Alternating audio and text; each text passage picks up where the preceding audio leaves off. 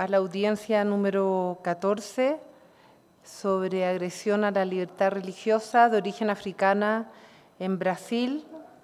Esta audiencia fue solicitada por un conjunto de organizaciones de la sociedad civil, eh, siguiendo cierto eh, el procedimiento habitual de las audiencias de estas características. Le vamos a dar a sociedad civil 15 minutos, luego el Estado tendrá otros 15 minutos, eh, posteriormente la comisión tendrá un tiempo máximo de 15 minutos para hacer preguntas y luego le daremos tiempo a sociedad civil para, para hacer sus comentarios finales de 7 minutos y luego el Estado otros 7 minutos. Por lo tanto, eh, voy a ser muy estricta en el tiempo, estamos muy atrasados con las audiencias.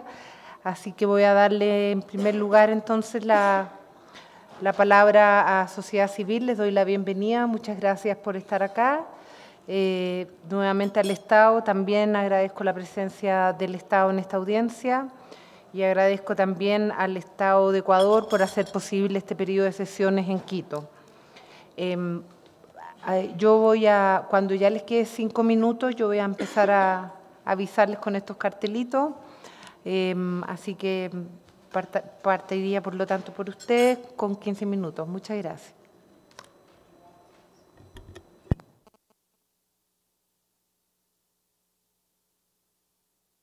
Bom dia a todas as pessoas aqui presentes. Agradeço à CIDH por ter acatado a nossa denúncia. Nós estamos aqui para denunciar as agressões que estão sendo atingidas às religiões matrizes africanas no Brasil. As religiões e matrizes africanas no Brasil vêm passando por perseguições e ataques que já sinalizam um início de guerra entre as religiões. Uma perseguição sistemática que, em outros tempos, teve apoio institucional. Nos meados dos anos 70, as festas dos terreiros de Cadomblé precisavam de permissão da polícia para serem realizadas fato que deixou de ser obrigatório devido às mobilizações constantes dos adeptos das religiões matrizes africanas, movimento negro organizado, em conjunto com, demais, com os demais movimentos sociais em defesa de direitos humanos e direitos civis existentes no Brasil. Porém, mesmo com as garantias da Constituição Federal de 1988, mesmo após a criação da lei datada em 15 de maio de 1997, a Lei Federal 9.459, que tornou crime a discriminação religiosa, ainda não foram suficientes para barrar os ataques de toda ordem às religiões matrizes africanas. Um deles levou à morte a Ialorixá Gilda, uma sacerdotisa da cidade de Salvador, do estado da Bahia. E, em sua homenagem, no dia 21 de janeiro, foi instituído como Dia Nacional de Combate à Intolerância Religiosa. Segundo os dados do Disque 100, canal do Ministério da Mulher, que concentra denúncias de discriminações e violações de direitos, foram feitas 203 notificações de intolerância ah, religiosa às matrizes africanas, de janeiro a novembro de 2018, o que significa um aumento de 47% das denúncias em relação a 2017. A situação é mais grave em estados como Rio de Janeiro, e, e no estado do Pará, onde, onde houve um aumento de ataques aos templos religiosos, só no ano de 2018 chegaram a 117 ataques. E no estado de, do Pará, o aumento de sacerdotisas e sacerdotes assassinados chegou a 55%. No estado de São Paulo, foram 95 templos atacados em todo o estado, o que deixou as, os adeptos das religiões matrizes africanas em alerta, pois demonstra que o. Um pouco mais devagar? Ok, tá bom. pois demonstra que o racismo religioso e a perseguição aos adeptos de religiões e matrizes africanas superaram as fronteiras dos estados e está se tornando uma situação grave e séria, que precisa ser punida de forma emergencial, pois fere o direito à liberdade de crença, ao Estado Democrático de Direito e à laicidade do Estado. A cada 15 horas, uma queixa de preconceito às religiões matrizes africanas é registrada no Brasil. Quase 60% dos casos de intolerância religiosa contra adeptos de religiões de matrizes africanas foram registradas no estado do Rio de Janeiro, 117, 117 casos. São Paulo, 95, Bahia, 56 e Minas Gerais, 51. Isso no ano de 2018. A imensa discrepância entre informações federais e estaduais mostra a falta de uniformidade entre os dados no país, que não ajuda na elaboração de políticas públicas a respeito. As agressões aos praticantes de religiões matrizes africanas vão desde xingamentos até situações mais graves, como invasões, aparelhejamento, queimas de terreiros de Umbanda, Candomblé e assassinatos de sacerdotisas e sacerdotes de Candomblé. Medo e apreensão é o sentimento que muitos praticantes das religiões matrizes africanas, por serem adeptos da, da, da religião, se tornou uma ameaça, ou seja, as pessoas que são adeptas das religiões matrizes africanas vivem em estado total de insegurança. A história no Brasil é marcada por 350 anos de escravidão e foi o último país a abolir a, escrava, a escravatura nas Américas. E é o país que mais recebeu os escravizados, cerca de 4 milhões de africanos. Para conseguir sobreviver aos, aos percalços da perseveridade da escravidão, o contingente negro viu na fé em seus ancestrais uma possibilidade de refazer os seus laços, manter e recriar tradições e reconstruir, mesmo em termos simbólicos, as famílias que, como parte da estratégia do sistema escravagista, foram completamente esfaceladas. Devolver às pessoas negras essa noção de família foi a primeira função das religiões matrizes africanas, pois o espaço dos terreiros, a identidade familiar foi recuperada tendo nas mães e pais de santos suas figuras centrais, e assim como os quilombos, os terreiros foram e são espaços de resistência e luta. Os ataques ocorridos no ano de 2019. Na cidade de Nova Iguaçu, no estado do Rio de Janeiro, o terreiro de Cadomblé de Ongunzinho foi invadido no Dia das Mães desse ano, 2019. Segundo testemunhas, homens armados de fuzis arrombaram a porta lateral do imóvel e fizeram um churrasco no local para comemorar a data. Esta é a terceira vez que o terreiro existente há 15 anos é atacado. Em Camaçari, no estado da Bahia, o terreiro Ileaxé, o Giseulo do Maré, foi invadido em janeiro desse ano e o pai de santo da casa foi agredido com várias coronhadas no rosto e também outras agressões físicas. Em Ceilândia, Distrito Federal, o terreiro Axé e Bolaama foi invadido por homens armados com foice e facão no dia 1 de maio. Segundo os relatos, no momento da invasão, os homens, disseram, os homens que atacaram o espaço disseram que o espaço não era lugar de macumbeiros. Há uma semana, o terreiro Lilê Axé de Batifolha, em Duques de Caxias, foi invadido por vândalos, no décimo caso da região. Eles quebraram todas as imagens e oferendas e ameaçaram de morte a mãe de santo que, que está fora do Estado, na casa de parentes. Esses ataques são orquestrados por grupos fundamentalistas, fascistas, neopentecostais e fanáticos religiosos que querem implantar apenas uma religião no Brasil, que não respeita a lacidade do Estado e nenhuma forma de direitos humanos. São pessoas violentas, agressivas, que não respeitam a liberdade de crença e espalham o terror e morte entre os adeptos de religiões matrizes africanas. E há um item mais agravante, que é a omissão de Estado. A ascensão política dos representantes desses grupos que faz as pessoas acreditarem que os ataques ficarão impunes. Não são religiosos e sim criminosos. Há uma necessidade urgente e emergencial de punição desses crimes por parte do Estado criação de medidas cautelares para que se respeitem as religiões matrizes africanas, uma maior educação entre todas as religiões, para que o Estado democrático de direito e a laicidade do Estado sejam respeitadas.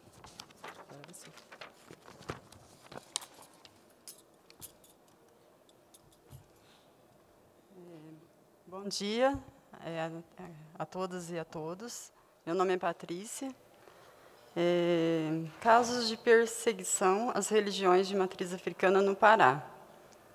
No estado do Pará, estado da região norte do Brasil, nos meses de outubro a dezembro de 2015, ocorreram quatro assassinatos de sacerdotes de religiões de matriz africanas, além de invasões, incêndios criminosos, ameaças de morte, roubos constantes, depredação dos terreiros, insultos e xingamentos direcionados aos praticantes das religiões de matrizes africanas. No dia 5 de outubro de 2015, o sacerdote de religião de matriz africana foi executado.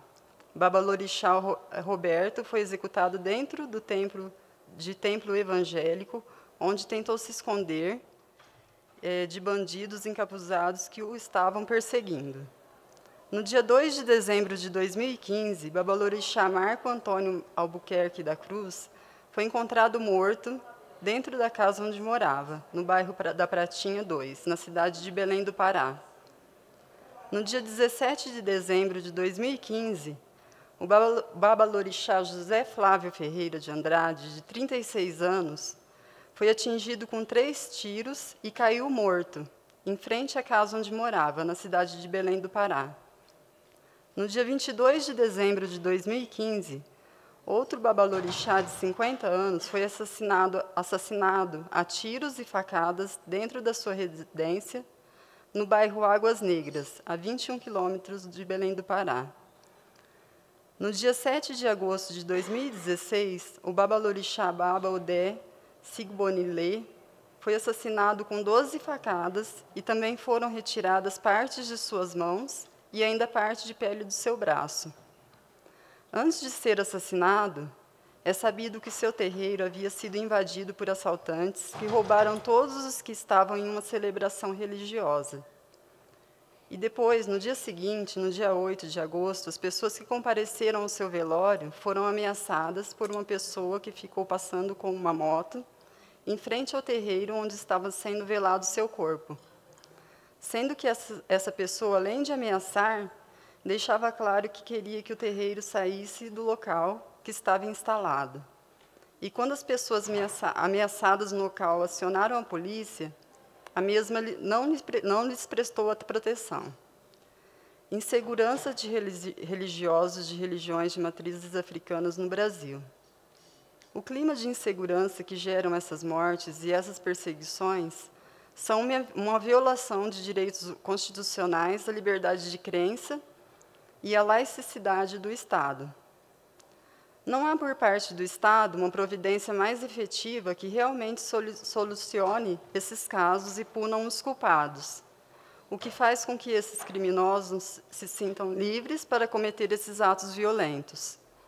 Inclusive, há grupos religio religiosos fundamentalistas, traficantes de drogas, milicianos, inclusive alguns que se intitulam de soldados de Deus, que aterrorizam e apoiam essas agressões, demonizando as religiões de matrizes africanas e também seus praticantes.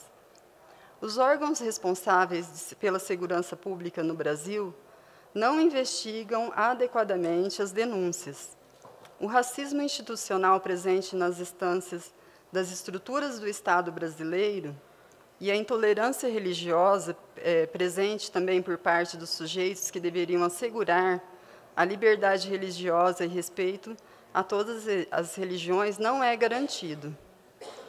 O racismo e a perseguição religiosa às religiões de matrizes africanas do Brasil é tão pertinente que a morte dos sacerdotes e sacerdotisas não causam comoção por parte da sociedade brasileira e nem dos órgãos de segurança pública. Pois, se fosse ao contrário, caso essas perseguições e assassinatos ocorressem com sacerdotes ou lideranças de outras religiões, as investigações seriam exemplares e os culpados seriam punidos. O Estado brasileiro precisa tomar medidas emergenciais para que essas violações graves de direitos humanos e esses crimes não tomem proporções maiores, pois já, está, pois já está a um passo de se virar uma guerra santa de religiões. Os órgãos responsáveis pela segurança pública do Estado brasileiro precisam se comprometer a praticar todas as leis que protegem as religiões de matrizes africanas. Instauradas nas, nas, na Constituição Federal do Brasil, outorgadas em 1988, pois as mesmas não vêm sendo cumpridas, e os ataques às religiões de matrizes africanas continuam, e os assassinatos sacer, das sacerdotisas e sacerdotes continuam, e não vêm sendo investigados da forma eficaz, de forma eficaz. Na maioria das vezes, quando uma ou, é, quando um ou uma religiosa, de religiões de matriz africanas faz uma denúncia, é, por ter sofrido algumas das formas de agressões, a opressão continua na delegacia de polícia. Quando o escrivão ou delegado de polícia responsável em receber a denúncia não registra o caso adequadamente e muitas vezes ainda debocha da vítima ou desacredita o relato da mesma. Os atendimentos corretos das denúncias são importantes para se saber os dados e os números da violência exercida contra os religiosos de matrizes africanas. Se ter um registro da quantidade exata dos casos, assim também como a sua gravidade, e por fomentar políticas públicas para se combater essas violações. Portanto, perante todos os relatos acima, propomos que o Estado brasileiro cumpra as leis existentes e, as quais é, e das quais é signatário. É, que os casos envolvendo intolerância e racismo religio, religioso sejam investigados e os agressores punidos judicialmente. É, a capacitação de, adequada dos policiais civis e militares, fomentação de políticas públicas de combate ao racismo religioso e a perseguição religiosa às religiões de matrizes africanas criação de fóruns interreligiosos por uma cultura de paz entre todas as religiões, educação nas escolas com o intuito de combater a discriminação, preconceito e perseguição às religiões de matrizes africanas. Ok, muchas gracias y felicitaciones por el uso del tiempo. Justo las iba a cortar. Muchas gracias. Ahora le doy la palabra al Estado, que também terá 15 minutos. Bom dia a todos. Obrigada. É, primeiramente, só uma introdução. É, senhoras comissárias e senhores comissários, representantes dos peticionários, demais presentes, boa tarde. Meu nome é Bruna de Paula e eu sou chefe da Divisão de Direitos Humanos do Ministério das Relações Exteriores do Brasil. Aqui ao meu lado se encontram Ezequiel Roque, secretário nacional adjunto de Políticas de Igualdade Racial do Ministério da Mulher, da Família e dos Direitos Humanos. É, Tiago Trindade, coordenador de proteção ao patrimônio afro-brasileiro da Fundação Cultural Palmares. Além disso, compõe também a delegação de Estado brasileiro representante da Advocacia Geral da União. Ao reafirmar o compromisso brasileiro com o Sistema Interamericano de Direitos Humanos e em cooperar com a CIDH, eu passo a palavra ao senhor Ezequiel Roque para que comece a apresentação do Estado. Bom dia a todos novamente. Saúdo, começando ah, com as seguintes saudações. Saravá, Auiré Axé, Salam Aleico, Shalom, Namastê, paz e bem e a paz do Senhor.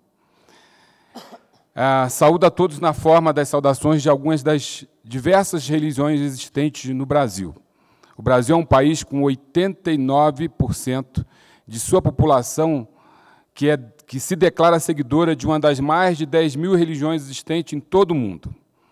O Brasil é um país pluriétnico e multicultural e tem como premissa constitucional a laicidade do Estado, em respeito à sua enorme diversidade religiosa ou de convicção Sempre buscamos efetivar a garantia dos direitos sociais e individuais, a liberdade, a segurança, o bem-estar, o desenvolvimento, a igualdade e a justiça como valores supremos de uma sociedade fraterna, pluralista e sem preconceitos. O respeito da liberdade religiosa e de convicção está amplamente previsto em diversos instrumentos normativos nacionais que fazem uma sintonia harmônica com os instrumentos jurídicos internacionais, os quais possuem como base os princípios fundamentais da Carta das Nações Unidas, bem como na Declaração Universal de Direitos Humanos, os quais proclamam o princípio da não discriminação, da liberdade de pensamento, de consciência, de religião ou de convicções. Ressaltamos ainda o compromisso do Estado brasileiro com a Agenda 2030 referente aos Objetivos de Desenvolvimento Sustentável da ONU, o qual está sendo implementado por meio do nosso plano plurianual, um conjunto de ações políticas que objetiva a redução da desigualdade através da inclusão social e econômica, assegurando, nos termos da Constituição Federal, a liberdade de consciência, da crença, do livre exercício aos cultos religiosos e garantia de proteção aos locais de culto e das suas liturgias. E para que isso aconteça, o Estado brasileiro tem atuado de forma responsável na implementação dessas políticas públicas mitigadoras e eliminadoras de todas as formas de intolerância e discriminação, fundada na religião ou convicção. Políticas essas claramente comprovadas por meio de ações concretas de combate à intolerância religiosa e discriminação racial das religiões de matriz africana, as quais são implementadas por vários órgãos do governo federal, em especial pelo Ministério da Mulher, da Família e dos Direitos Humanos, objetivando a implementação de programas, projetos e leis dos quais eu passo a citar.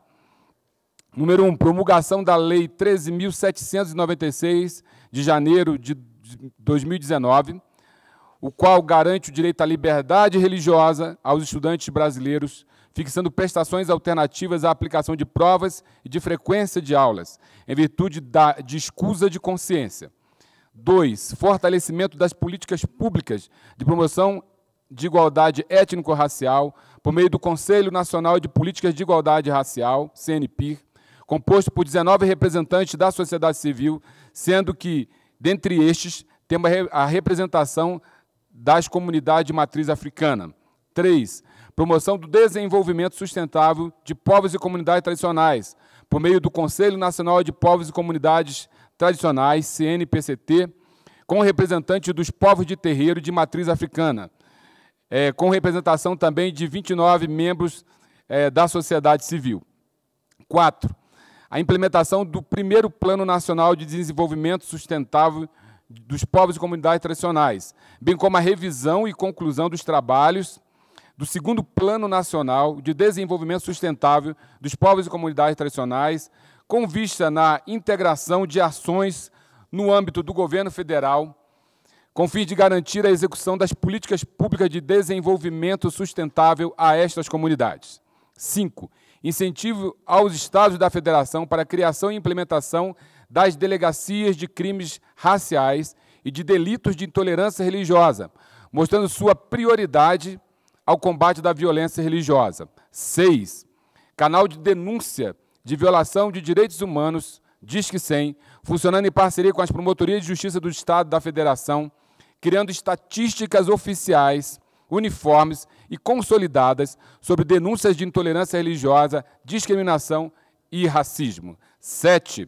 Criação do Comitê Nacional de Liberdade Religiosa, com representantes da sociedade civil e do governo para atuação na área de promoção à liberdade religiosa.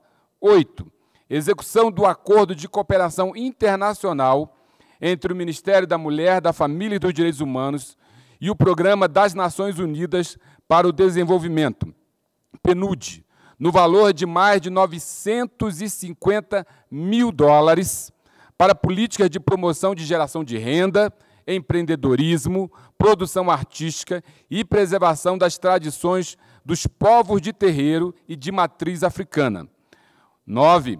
Mapeamento de todos os terreiros e territórios sagrados dos povos de terreiro de matriz africana no Distrito Federal, com planejamento de expandir para todos os estados da federação. 10. Implementação e organização e participação em inúmeros fóruns, seminários, audiências, congressos sobre liberdade religiosa, combate à intolerância religiosa e racismo. Finalizo, portanto, reafirmando que o Estado brasileiro tem feito todos os esforços a garantia do direito à liberdade religiosa ou de convicção, o combate à discriminação, à liberdade de pensamento, de consciência e da discriminação racial e proteção dos espaços sagrados dos povos de terreiro de matriz africana. Termino citando a célebre frase do escritor francês Victor Hugo: A tolerância é a melhor religião. Fiquem na paz do Senhor Jesus.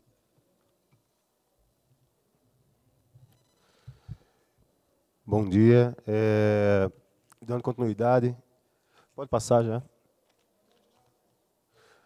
A Fundação Cultural Palmares, vinculada ao Ministério da Cidadania, Foi o primeiro órgão federal criado para atender a população afro-brasileira. Isso se deu no ano de 1988 por meio da Lei 7.668. São, portanto, 31 anos atuando, dedicados à missão de promover a preservação dos valores culturais, sociais e econômicos decorrentes da influência negra na formação da sociedade brasileira. Dentre suas competências, como registra seu regimento interno, está assistir às comunidades religiosas matriz africanas na proteção de seus terreiros sacros e promover ações que assegurem a preservação, o fomento e a valorização da cultura das comunidades religiosas matriz africana. Ao mesmo tempo em que reconhecemos que a intolerância religiosa é um mal que aflige nossa sociedade, é preciso dizer que o Estado brasileiro vem envidando múltiplos esforços para enfrentá-lo. Ao longo dos, dos anos, a Fundação Palmares, por exemplo, vem realizando e apoiando diversas ações em várias de nossas unidades federativas, e aqui vale citar algumas delas como forma de comprovar que não estamos inertes frente às manifestações de racismo e intolerância religiosa, nem somos indiferentes à imbricação entre ambos. Pode passar. Seminário Internacional Herança Identidade e Cultura, Gestão de Sítios e Lugares de Memórias ligados ao tráfico negreiro, ocorrida em Brasília. A atividade centrou-se na discussão sobre a valorização e preservação do patrimônio ligado ao tráfico negreiro e à escravidão e o papel que esse patrimônio pôde desempenhar no cumprimento do dever de memória e na educação dos jovens, com participação ampla de representantes dos, da, de religiões de matriz africana. Debate quilombos, terreiros de juventude, justiça ambiental e práticas culturais africanas e afrodescendentes ocorrido é, no contexto da Conferência Rio Mais 20. Lançamento da coleção Conheça Mais, na cidade de Salvador, cujo objetivo foi disseminar conhecimentos construídos a partir de pesquisas produzidas por instituições negras ou voltadas para estudos da população negra.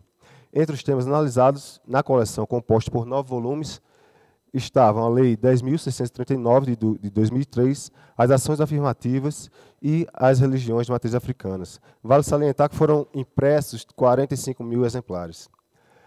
Apoio, apoiou algumas edições da celebração do Bembé de Mercado, em Santa Maria da Purificação, Bahia, festa que ocorre desde 1889 e celebra a liberdade conquistada pelos negros escravizados e hoje constitui um importante movimento de afirmação da população afro-brasileira e do culto às divindades do candomblé.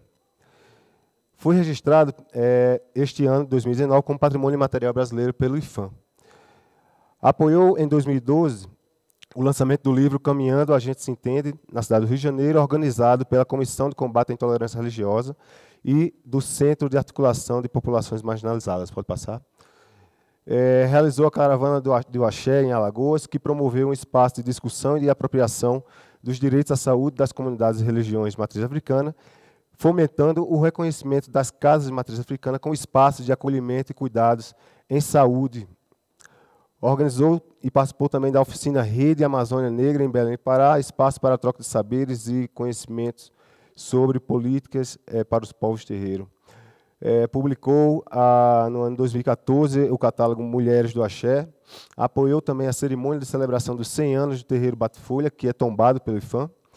Em 2016, é, realizou uma importante campanha chamada Filhos do Brasil, que era uma campanha dedicada exatamente para o combate à violência e intolerância religiosa, que contou com cerimônia ecumênica de lançamento nas cidades de Brasília, Rio de Janeiro e Maceió, sendo veiculado por meio de vídeos e teasers em redes sociais, o que foi amplamente feito.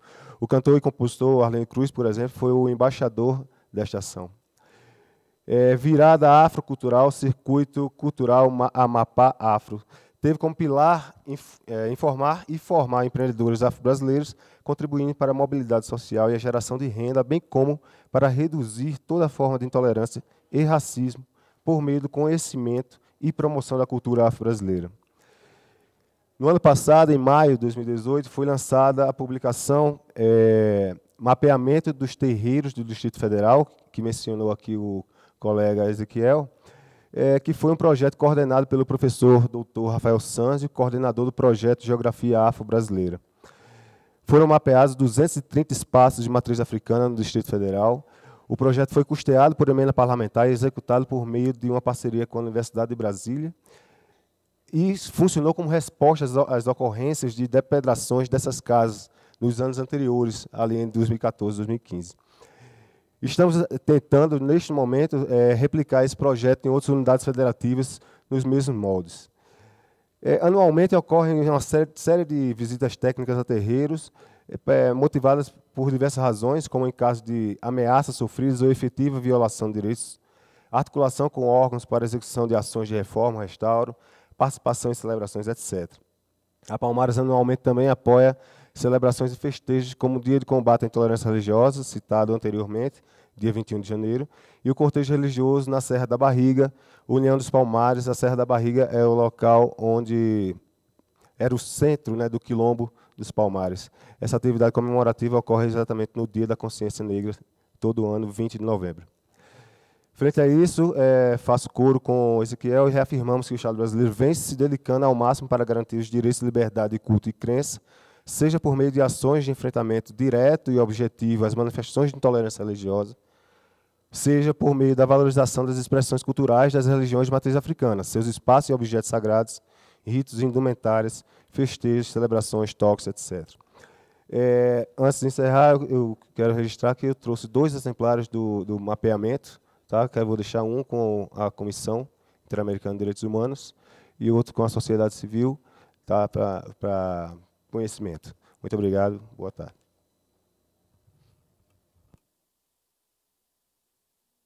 Muchas gracias, muchas gracias también por el, por el uso del tiempo. Eh, ahora voy a mm, darle la palabra a, a mis colegas. Eh, como relatora de Brasil, me voy a permitir empezar yo. eh, Thank you very much, Madam President. I'll try not to use up too much time, as we are also being short. Um, I, I, do have um, a couple of questions for the state. I, and I thank the state for your representation, your submissions, and the same to you as well. Um, I've listened to you um, properly, and you have spoken and referred to a number of laws which exist to um, protect freedom of religion in Brazil. How then do you explain the in, incidents of violence which the civil society reported and at such large numbers? And my second question is if indeed you have these laws, can you explain the, the process of implementation of the laws, especially in relation to the police? who would be the first responders when there is an act of violence against certain members of their po population. And you've heard civil society say that when matters are reported to the police, one, they don't come, two, they don't record, and three, they make fun of, of, of, of um, the persons who go and complain. So what are the steps that the state has taken to implement through in, in-depth training of the police of the provisions of these acts and to make the police understand that they must act according to the laws provided in these acts. Thank you.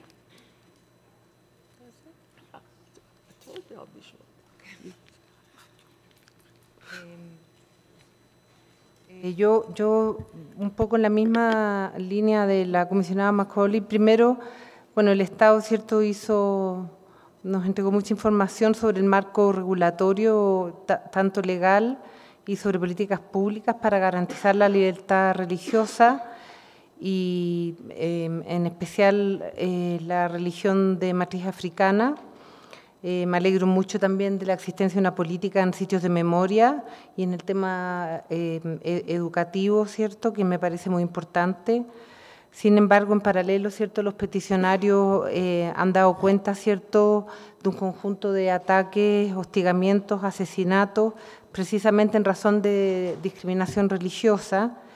Eh, entonces, también a mí me llama mucho la atención las brechas de implementación entre la existencia de un marco regulatorio legal y políticas públicas y, los hechos que, han planteado los peticionarios.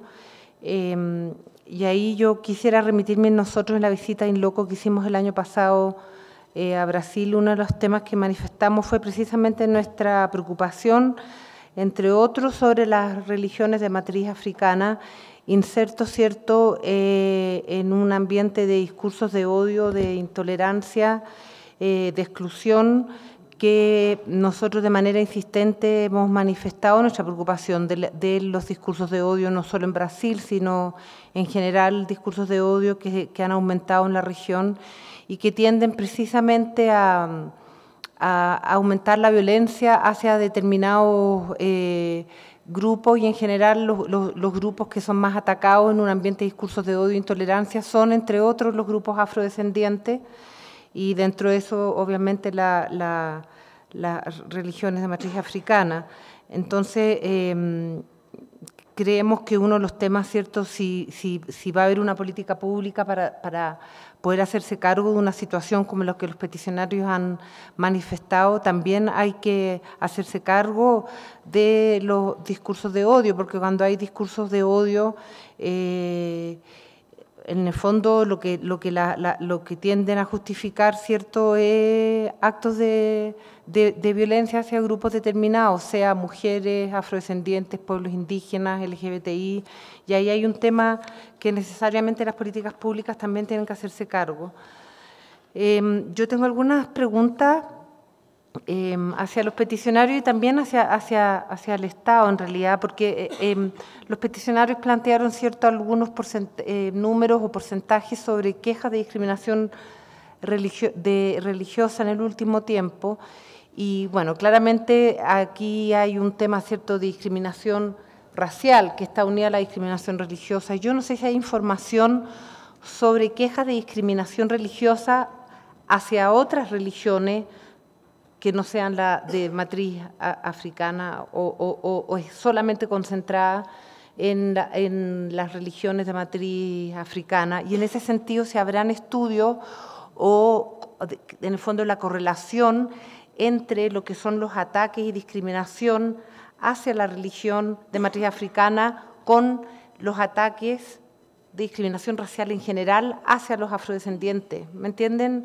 ¿Cuál es la correlación? Me imagino que la hay, pero no sé si hay estudios y sería interesante poder eh, eh, conocer eso, porque en el fondo si el tema es un tema de ataque hacia, que entiendo que es un ataque hacia la religión, pero si es simplemente porque quienes ejercen esa religión son afrodescendientes, o además tiene que ver también con la falta de tolerancia hacia religiones diversas. ¿Me entiende la pregunta? Entonces, si hay estudios que, si hay estudios que buscan una correlación, eh, eh, y, en segundo caso, eh, tanto al Estado como a los peticionarios, si hay información sobre, ustedes plantearon varios casos concretos con nombre y apellido de asesinatos, si hay procesos respecto de esos asesinatos, en qué estado están esos procesos, eh, si hay condenados y también si hay reparaciones o no hay reparaciones en esos casos concretos. Muchas gracias. Eh, no sé si... ¿no? Em, gracias. Eh, una, una, cuestión puntual em, en este tema que también es muy importante desde la perspectiva de los derechos culturales y por eso la, la relación con, con, el mandato, manifestar toda la preocupación por los, por los sucedidos que nos ha destacado la sociedad civil y ojalá como la comisionada y relatora de país ha solicitado el Estado de cuenta de cuáles son los procedimientos de investigación y sanción que está siguiendo adelante con estos casos. Yo quisiera en particular escuchar más sobre las acciones educativas que para favorecer la libertad religiosa y, em, y, celebrar la diversidad religiosa del Brasil, que es uno de sus mayores también patrimonios culturales, están llevando adelante en el Estado y quisiera también escuchar la valoración de la sociedad civil. Muchas gracias.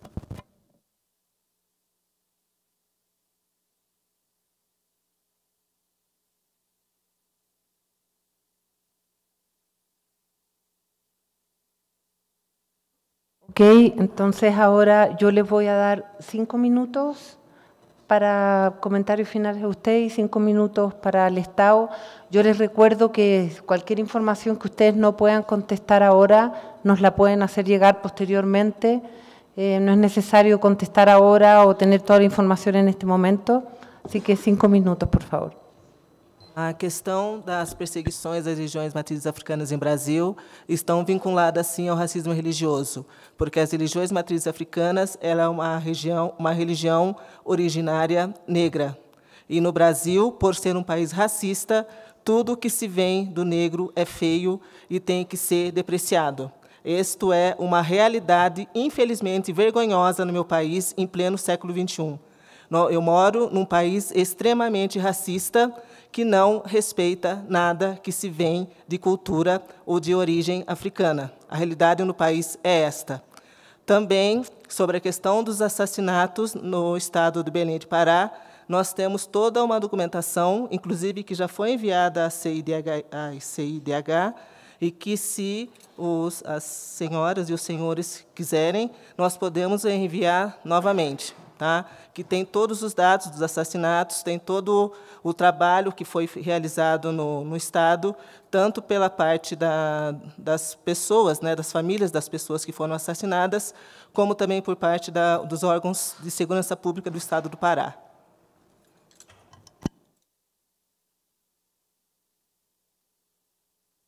Le doy a palavra ao Estado. Ok. É, primeiramente, sobre a situação se existem processos que impedem e ações do Estado que impedem esse tipo de situações de atos criminosos com os, os centros, os povos de terreiros, é, eu informo o seguinte: todas as denúncias que são feitas a nível de Estado brasileiro, através do Disque 100, através ah, nas próprias delegacias, ou delegacias especializadas que nós possuímos, ou nas delegacias normais de atendimento à população, elas são é, normalmente a, realizado todo o processo de investigação, o inquérito policial e o processo judicial para responsabilização daqueles que cometeram esses atos criminosos. E nós temos um espaço que são os espaços das corregedorias dentro das polícias. O que acontece é que muitas vezes é, quando há qualquer ação ou situações onde há um despreparo por parte do servidor público, quando ele não age da forma que deveria agir, essas denúncias elas devem ser encaminhadas, quando houver omissão por parte do agente público, para as corregedorias, para que as corregedorias é, assumam o seu papel e façam com que a lei seja aplicada. Então, o Brasil, a, o Estado brasileiro tem um, um, um sistema jurídico que funciona muito bem e que precisa ser é, cobrado. E muitas vezes é, não se há essa cobrança quando há um erro por parte de algum agente público. É, nós temos a, a, elencado aqui as inúmeras a, ações que o Estado, como eu elenquei aqui, foram 10 ações que o Estado brasileiro tem, tem realizado, justamente para impedir situações como essa. São ações que trabalham na área de treinamento dos servidores que atuam é, nas delegacias ou no judiciário, e todo um projeto, plano e, e, e propostas para combater ah, esses erros e para combater o racismo. Né? Temos uma Secretaria Nacional e vários é, é, conselhos a nível de Estado é, que trabalham na política de promoção da igualdade é, racial, tentando lutar contra o racismo dentro do nosso país. Então, existe um esforço realmente muito grande. E as leis existem, as leis estão sendo é, é, implementadas através das políticas públicas, como eu elenquei aqui. Isso daqui é 10% do que nós temos, porque nós temos muitas outras ações que não dá tempo de relatar aqui, mas são realizadas tanto pela, pela Secretaria Nacional, tanto pelos ministérios que trabalham na temática, como pelos estados da Federação do Brasil.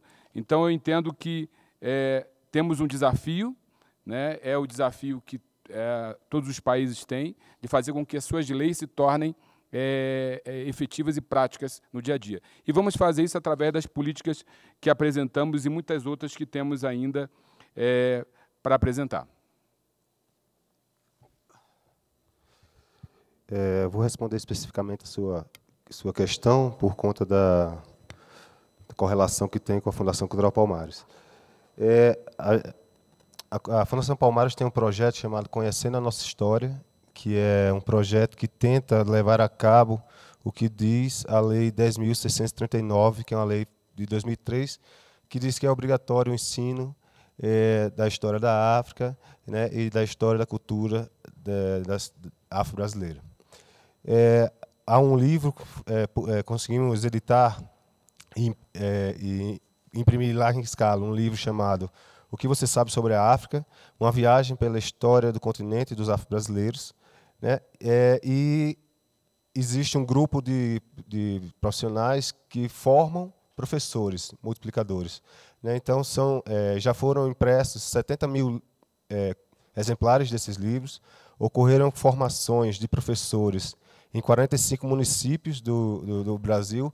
É um número pequeno, mas tem que entender também que o projeto ele ocorre por demanda, né? então o município tem que de, é, demonstrar interesse em participar. De, é, mas nesse, nesses 45 municípios foram formados 534 professores e, e atendidas 414 escolas. Né? Então, o objetivo é exatamente é, fazer com que esse conhecimento, a, a, a, história sobre a África, a história sobre a cultura dos afro-brasileiros, chegue realmente às escolas e seja aplicado aos professores. Como a gente sabe que existe uma falha na própria formação dos docentes, é por isso que há esse momento de preparo né, de, de, professores multiplicadores nos, nos municípios que demonstram interesse em aderir ao projeto. Eu posso usar os segundos, os, os segundos finais né, para, primeiramente, em nome do Estado, nos solidariz solidarizarmos com cada uma das vítimas né, da intolerância religiosa, que, de fato, isso é um problema para o Estado brasileiro, né, e o combate à intolerância religiosa né, e as ações de, de tutela da liberdade religiosa estão, estão na ordem do dia do governo brasileiro, tanto no plano externo quanto no plano interno. No plano externo, nós temos falado que os cristãos, nós temos dados que mostram que os cristãos são o grupo mais perseguido, sua perspectiva global. Internamente, no entanto, nós temos uns quantos cristãos, e é uma infelicidade é, reconhecer isso, é? mas estamos autorizados a reconhecer que temos uns quantos cristãos sendo os violadores do direito à liberdade de religião e de crença, sobretudo, e no Brasil esse é o problema, né, aqueles que é, é, é de religiões de matriz africana. Né? Então, o, nós estamos recriando nessa semana, isso foi falado no nosso discurso, eu quero re ressaltar, o Comitê Nacional nós não tivemos, nós trabalhamos internamente, inclusive, para tê-lo publicado até hoje, o Comitê Nacional de Liberdade, Religião e de Crença, no âmbito do Ministério da Mulher, da Família e dos Direitos Humanos, é? e estamos à disposição dos peticionários e também da comissão, não só para prestar esclarecimentos, mas, sobretudo, para trabalharmos em conjunto para efetivamente acabar com esse mal no país. Muchas gracias. Eh, quiero agradecer a, los las peticionarias por la información que nos han traído, también al Estado. Eh, cualquier información que nos, quieran hacer llegar es muy importante para nosotros poder recibirla. Eh, la comisionada Margaret May Macaulay está muy interesada en el libro que usted mencionó. Si nos pueden hacer llegar el libro. ¿Sí? Ok. Y muchas gracias y, eh, por esta audiencia. Vamos a ponerle término. Agradezco a los intérpretes y ahora viene otra audiencia que no tengo muy claro cuál es. Eh, pero, ¿ah? Ah, hay una sobre Estados Unidos en este momento en esta sala, así que vamos a poner término a esta porque la gente está esperando, estamos bastante atrasados, así que muchas gracias al Estado de Brasil, muchas gracias a las peticionarias. Yeah, I have to. I have to go next to. I have to go next door.